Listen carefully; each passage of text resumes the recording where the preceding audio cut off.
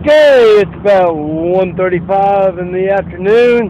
Morganton, North Carolina, June the 1st, 2014. Got my second ride for the day by a young man in his 20s or so. Young man named George. He's uh, uh, originally from, uh, I forget where he was from now. Anyway, it doesn't matter. Uh, he didn't have Facebook or YouTube or anything. So uh, he said he did have Facebook, so he deleted it, but he never really deleted Facebook, did he?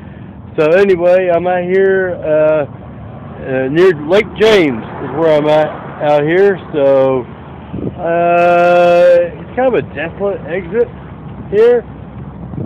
And not a whole lot going on. We got a little bit of traffic. I'll see what happens here. If I if I don't get it right here pretty soon, I can walk about uh, three quarters of a mile that way to 70, and 70 runs parallel with uh, 40.